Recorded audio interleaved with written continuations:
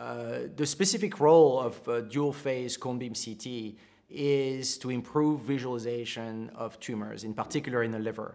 Uh, and uh, especially for tumors that are less hypervascular, it can be very difficult to identify them and visualize them during the procedure.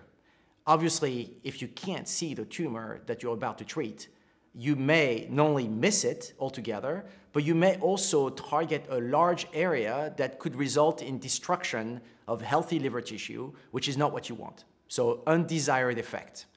The beauty of the dual phase cone CT is that with the arterial and the delayed arterial phase, allows you to identify the tumor and visualize them.